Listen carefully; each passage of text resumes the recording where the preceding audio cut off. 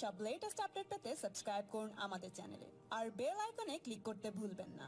ফল বলতে শুরু করেছে ঝাড়খণ্ডে মুখ পোড়ালেও। দিল্লির একটি বড় অংশের বাসিন্দারা ঠান্ডা, প্রলেপ, লেপ দিয়েছেন ভাজপা নেতাদের।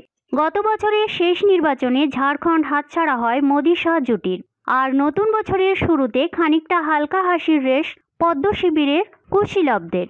দিল্লি বিধানসভা নির্বাচনের ফল ঘোষণার শুরু থেকেই পিছিয়ে বিজেপি। কিন্তু স্বস্তি, কারণ গতবারের তুলনায় ফল ভালো। দ্বিগুণের বেশি আসন তাদের পকেটে আসছে। গতবারের তিন থেকে এক ধাক্কায় দুই অঙ্কের ঘরে ঢুকতে চলেছে। এখানেই চমৎকারী অন্তত একটার পর একটা রাজ্য বিজেপির হাতছাড়া হওয়ার পর দিল্লিতে সর্বশক্তি দিয়ে ঝাঁপিয়েছিলেন মোদী শাহরা সেই পরিশ্রম কাজে এসেছে।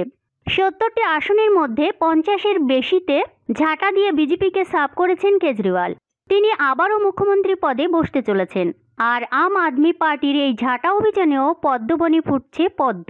পরপর দুবার সরকারে থাকার পর প্রতিষ্ঠান বিরোধিতা যদি এই ফল দিতে শুরু করে, তাহলে সমমনস্ক কংগ্রেসের সঙ্গে জোট না করাও বড় খেসারত দিলেন কেজরি, যেখানে বিজেপি বিরোধী সব জনসভা ও সরকার গড়ার অনুষ্ঠানে তাকে রাহুল গান্ধীর আশেপাশেই দেখা যায়।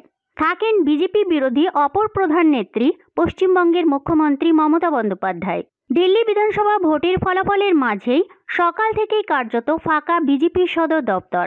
এর মধ্যে বিজেপির অফিসের বাইরে একটি হোর্ডিং দেখা যায়, জয়ে আমরা অহংকারী হই না, পরাজয়ে আমরা নিরাশ হই না। হোর্ডিংয়ের একাংশে বড় বড় করে রয়েছে অমিত শাহের ছবি। এক ঝলকে দেখে মনে হচ্ছে অমিত শাহই এমনটাই বলছেন ইতিমধ্যে সোশ্যাল মিডিয়াতে ভাইরাল সেই ছবি। আর সেই ছবি ভাইরাল হতেই রাজনৈতিক মহলের কটাক্ষ। তাহলে সব দম্ভ চুরমার। দিনের শুরুতেই হার স্বীকার করে নিল বিজেপি। যদিও এই বিষয়ে একেবারেই নট বিজেপি নেতৃত্ব। তারই মাঝে প্রশ্ন, হেরেও কি আসলে হারল বিজেপি?